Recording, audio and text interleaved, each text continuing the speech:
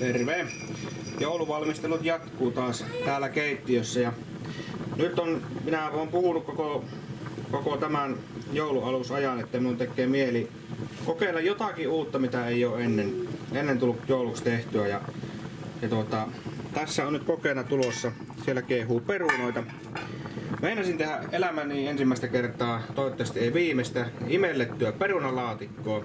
Se ei ole meidän perheen perinteisen kuulunut ikipäivinä, mutta monet on sitä kehunut ja on kuitenkin on verrattain helppotekoinen ja muuta, niin, niin, niin ajattelin nyt sitten kokeilla. Ja, ja sitten toinen, toinen tuota artikkeli on kanssa tämmönen neitsellinen testi tulee maksapateita meinasin tehdä ja ainekset tai pääainekset on tässä. Silavaa ja porsaan maksaa. Ja tuota, meinasin ihan tämmöisellä vanhalla sotaratsulla jurrata tehdä, mutta katsotaan, katsotaan kuin äijän käy. Nyt on ihan, ollaan niin uudella alueella, että, että oksat pois. Voi tulla ihan mitä vaan, mutta tuota, mutta, mutta raaka-aineesta se ei, ei tule jäämään kyllä kiinni. Tosiaan se resepti on tuo pongattu tuolta YouTubesta, Patakakkosen joulukalenterista. Jaakko Kolomonen valmisti tätä maksapateita siellä. Ja tota, itse asiassa tämä silavan optio on vähän arvotuksellinen, kun se mainittiin siinä reseptissä, mutta mä en siinä videolla nähnyt, että ne olisi käyttänyt sitä silavaa missään vaiheessa, mutta katsotaan nyt mitä tuon kanssa sitten tehdään. Mutta tämmöiset on ainekset ja nyt alkaa sitten jossain vaiheessa kokkailut. Tietenkin tuo viepi eniten aikaa tuo, tuo perunalaatikon teko, kun se pitää imeltyä se. Sanotaan, että yön yli tai ainakin se kuusi tuntia. Minä nyt sen kuusi tuntia sen tuossa pitää, kunhan tuon nyt saadaan muusiksi. Niin, niin, niin, jatketaan sitten, kun on muussi valmista ja se on vähän jäätynyt.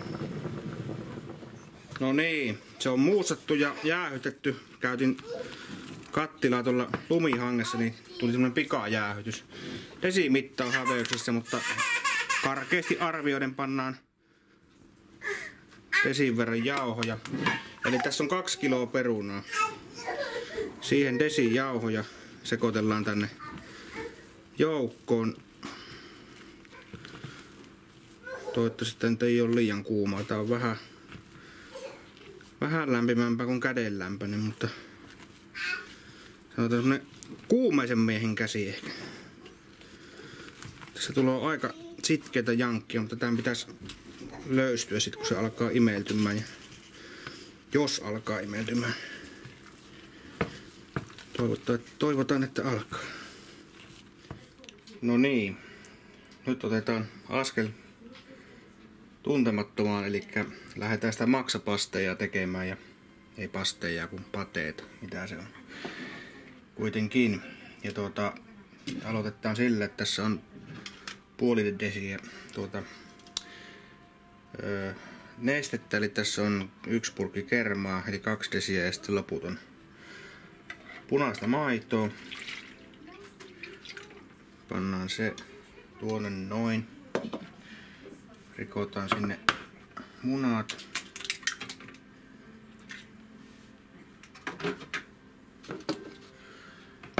Ai jäi sentään kun on jäänyt.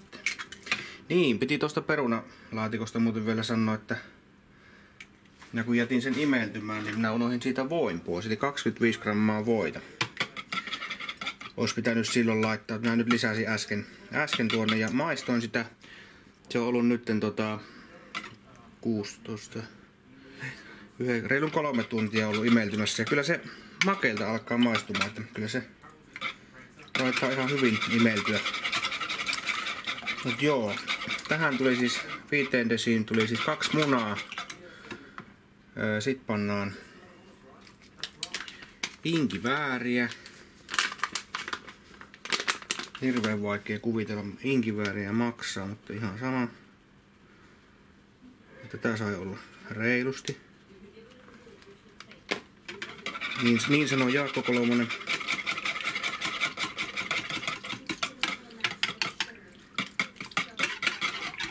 Sekoittukahan nyt. Noin. Valkopippuria. Sitäkin sai olla kuulemma aika rouheesti. maustepippuria.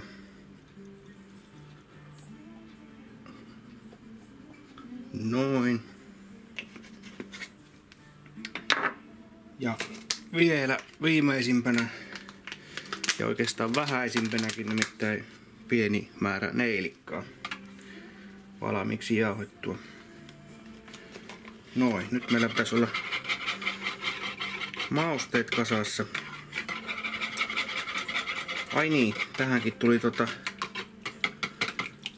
vehnäjauhoa. Kaivetaanpas tuolta kaapista.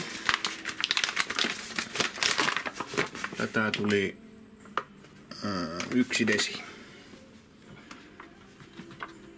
Jälleen kerran josta desimittaa. Sovitaan, että se oli siinä.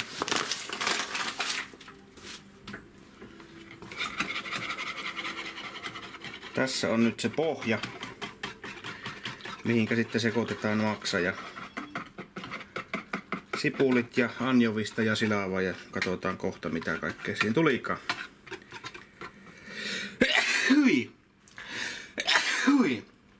Terveydeksi. Kävi mausteet nenään.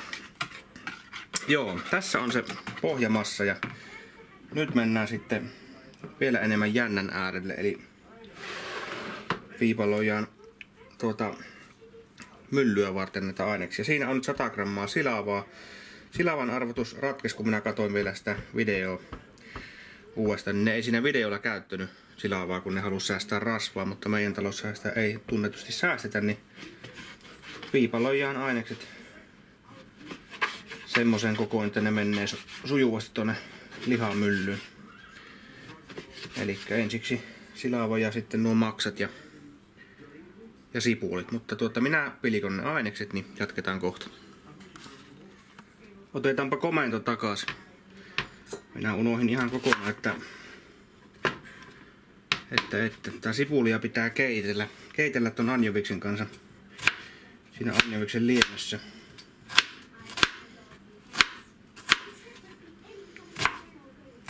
Niin, niin. Tää on tuon tärkeä työ vähän lattialle tiputellut näitä sipulia. Ihan silleen niinku reilusti saa mennä näköjään. Sen jo minä kyllä osaan paremmin kuin mitään muuta. Sen sotkemisen jalon taidon. Näin on. Muutenkaan tähän keittiö silleen tyytyväinen, että se on hirveän pienet nämä pöytätilat tykkäisin itse, että olisi iso keittiö, missä olisi keskellä keittiö iso laaja semmonen pöytätaso, missä pystyisi tämmöiset hommat tekemään. Mutta semmoista nyt ei ole. Tällä on pärjättävä.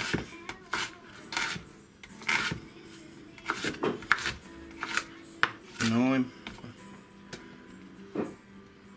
Siellä on sipuli.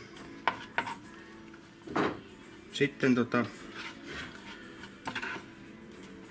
otetaan sitä anjovista.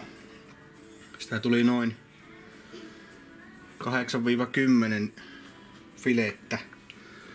Mulla on tämmönen purkki. Tässä muuten sanottu paljonko tässä on? Ei. Katsotaan.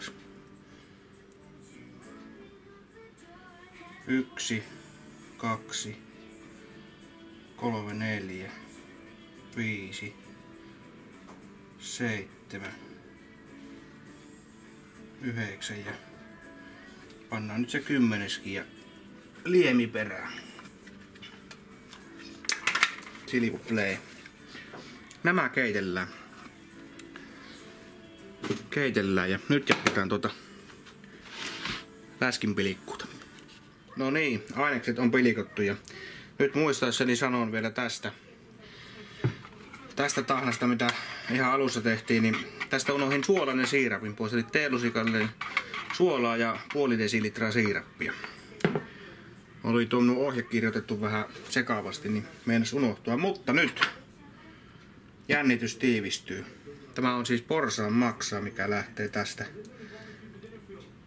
Toivottavasti, jos luo ja suo, niin lähtee tuota musertumaan tuonne tuonne astia. Pelottaa ihan suunnattomasti.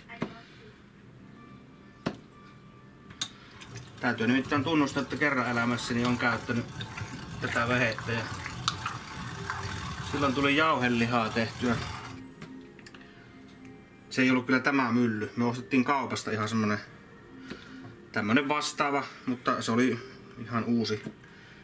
Ja tuota, sinne tuli siitä, kun täällä on se reikä suutin tuossa, niin siitä tuli irtos metallisilippoa sinne sekaan ja muuten, niin pienet traumat jäi, mutta tämä on jostakin kultaisilta vuosikymmeniltä ja tämä näyttäisi kyllä näyttäisi toimivan erinomaisen hyvin. Nyt minua ei enää pelota mikään muu kuin miltä tää maistuu. Ja tuota... Hiivatti. Onpa näppärä peli. Vaikka eihän tää mikään hieno sähkökäyttöinen olekaan, mutta... Mutta, mutta... Eipä sen tarvi ollakaan. Noin sitä tulee sitä herkkua sieltä. Pannaan välillä vähän vähän silaavaakin sinne menemään. Saadaan niitä kaloreita taas kohilleen. On muuten aika hyvä mylly. Tää jauhaa hirmu hienoksi. Niin kuin tietysti pitääkin. Aivan oivallinen vehje.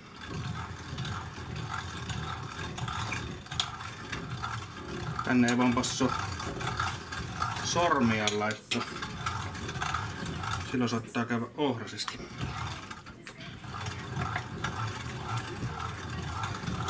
Noin, sieltä rupes vaaleampaakin tavaraa tulemaan. Tätä uppoo niin maan perusteellisesti tänne. Hyvä homma. Huhhuh, vähän aikaa siinä meni, mutta siinä se nyt on. Koko komeus. Ajoin muuten nuo silavat vielä toiseen kertaan läpi. Ne jäi, vähän semmoiseksi matoosiksi, mutta nyt nekin on oikein hienona. Sitten se pannaan tämä komeus tänne niin sanotun taikinan sekkaan ja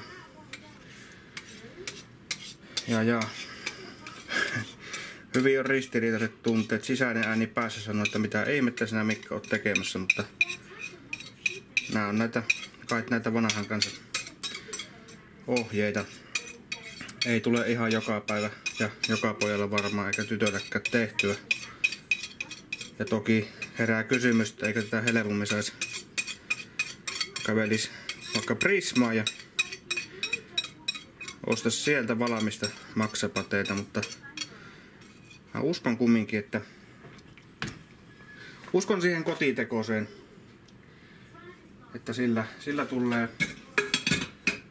parasta ja tietää, että ei ole lisäaineita ja tietää mitä kaikkea, mitä kaikkea se tuotos on syönyt niin sanotusti.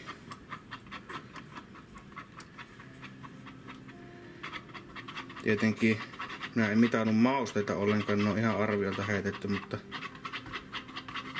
mutta, mutta ei nyt hirveän, hirveän kaukana siitä todellisuus, todellisesta määrästä voi olla. Väriltään ja sakeudeltaan tämä on aika lailla vastaavaa, mitä siinä Patakakkosen videossakin. Onko nuo silaavan sattumia? Taitaa olla, kyllä siinä vähän jäi palasia, mutta ei anneta sen häiritä.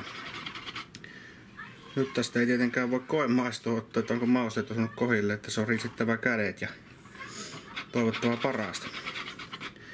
Sitten ei muuta kuin otetaan vuoka ja ruvetaan kaatamaan vuokaan. Nyt kyllä jännittää, riittääkö tämä vuoka. Tähän nimittäin pitää jättää pieni, pieni tuota paisuntavara.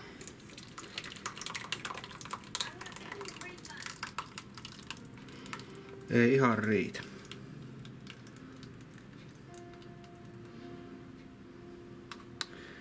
No, tuommoinen vara siihen kumminkin pitää jättää. Täytyy keksiä joku, joku astia tuohon. Probleemana on vaan se, että näitä ei tämmöisenään panna uuniin, vaan tämä pannaan vesihauteeseen. Siksi minä tarvitsen vuuan ja tietysti vuokaan vettä. Yllätys, yllätys kun vesihauteesta on kyse. Tähän tyyliin. Ei minä hittoinen sinne sitä vettä, tänne. No niin. Siinä se on ja tämä satsi nyt ainakin lähtee uuniin. Katsotaan mitä tulee lopulle keksitään. Eli 180 astetta ja tunti 15 minuuttia, puolitoista tuntia niillä paikkeilla. Nyt on maksapatee. Tai maksa... Hetkinen. Maksapaste ja maksapatee. Onko ne sama asia? Minä puhun maksapateista, mutta siinä ohjeessa sanottiin maksapasteja.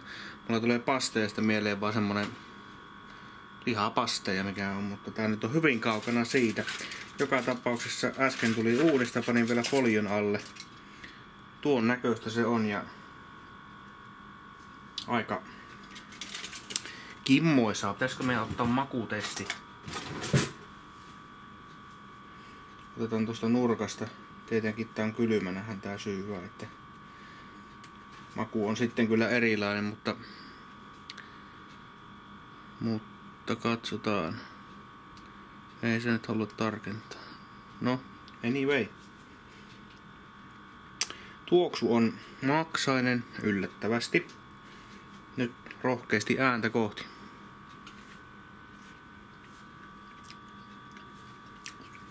Jaha.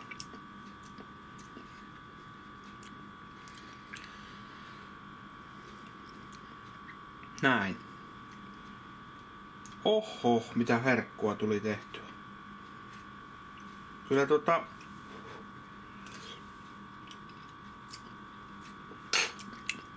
Kolmosen Jaskalle lähtöä vähintään saman verran pisteitä kuin tällekin, eli 5 kautta 5. Aika jännä maku. Tosi semmonen, voisiko sanoa, voisiko Prameilo, jos sanoisin, että hienostunut maku. Oi vitsi. Aivan mahtava. Hieno homma. Hyvä minä. Nyt minä ihan aiheesta kehun itseäni. Yes. Mutta vielä on yksi. Ai, nam. No niin. Pyörryksiin menin tuosta, oli niin hyvä. Mutta tämä toinen ruoka. Perunalaatikko. Se on nyt imeltynyt 16, 17, 21, reilu kuusi tuntia. Ja tuota, se on pikkusen notkistunut. Tää ei ole enää niin jäykkää. Jäykkää ja maku on tosiaan semmonen imelähkö. Tuossa kaverin kanssa juteltiin, niin imeltyminen perustuu siihen, että noin 50 asteessa, jos tämän pitää, niin se imeltys paremmin, mutta nythän tämä ei ole ollut kuin se 50 astetta kuin ihan tovin aikaa, mutta kyllä se nyt on kerennyt kuitenkin makua ottamaan, niin nyt siihen lisätään vähän maitoa. Sen verran, että siitä tulee semmoista oikein löysää, löysää tavaraa. Monethan makeuttaa kuulemma siirapillakin. Mä nyt puhun kuulemma ja kaveri kertoi ja näin päin pois. Kun, niin kuin sanottu, tämä on minun ihan elämäni ensimmäinen kerta. Meidän joulupöytään ei ole kuulunut, kuulunut perunalaatikko ikipäivänä. En tiedä, onko tämä enemmän semmonen hämäläinen ruokalaji sitten. Ite, ite kun tuolta, tai suku tuolta Karjalasta päin, niin en minä ainakaan tiedä, että siellä olisi, tai ei ainakaan meidän suussa ole koskaan tehty. Mutta tuota, nyt sitten on tehty. Lienenkö suvu ensimmäinen, sitä en tiedä. Tuskinpa on, mutta, mutta, mutta. Kaverilta piti resepti hommata, kun ei kukka suvussakaan sellaista ole jakanut. Mikähän se on se oikein löysä? Tää alkaa olla kohta perunavelliä. Mä luulen kyllä, että se tämä alkaa tää löysyys riittämään. Nyt on varmaan aika hyvä niin tuota, ei muuta kuin pannaan, pannaan tämäkin vuokaan ja uuniin. Tässä on taas näitä kertakäyttöfoliovuokia. Saapi minun puolesta nyt kelevata. Mm. Joo, tota... Mitäs minun piti? Niin, uuni. Uunin lämpötila 150 astetta ja... Ja, ja kahdesta kolmeen tuntia. Näin. Se kertoo ystävä tuossa juuri äsken, kun minä varmistin tämän, kun ohje ei sisältänyt tuota uunin lämpötilaa, niin piti se vielä kysyä. Mutta tämmöstä näin. Enpä nyt viiti sitä vuokaanmättöä että jokainen varmaan kuvit, voi kuvitella mielessään miltä se näyttää. Palataan asiaan sitten kun on, on, on tavara kypsää. No niin, päivä on vaihtunut. Eilen meni niin myöhään tuo perunalaatikon teko, että en jaksanut enää kuvata, mutta tässä näitä nyt on valmiina ja, ja tuota, tuosta tuli jo maisettua ihan syötävää tuli. Sikäli kun minä nyt ymmärrän, minkä, miltä se tämä pitäisi maistua. En muista nimittäin ennen syöneeni imellettyä perunalaatikkoa.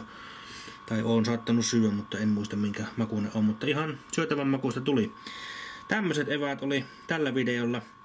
Mun piti vielä silliä tekemään tossa, mutta kello on sen verran paljon, että taitaa jäädä nyt tältä erää tekemättä, mutta tuota, katsotaan jos seuraavana päivänä teen, niin ottaisinko vaikka video siitäkin. Mutta nyt näihin kuviin. Mukavaa joulun odotusta kaikille.